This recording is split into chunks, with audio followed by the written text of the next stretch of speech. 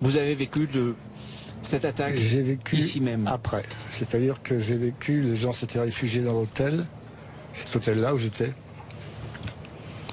Et j'étais un petit peu en dehors de Nice où je travaillais. euh, J'écoutais à la radio, évidemment. Donc on a tous plié bagages, on est descendu euh, dans la ville.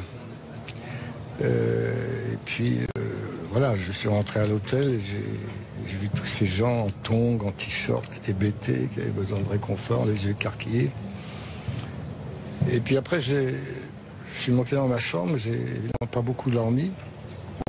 J'étais sur la terrasse et j'ai été incroyablement impressionné par le silence. Il y avait un silence de mort. Euh, quelques voitures de police, quelques sirènes qui passaient dans une espèce de, silence assourdissant, comme on dit. Voilà, donc il y avait plusieurs raisons pour répondre à votre question de, de faire cette- cet hommage, enfin cette lecture. Et de venir y participer.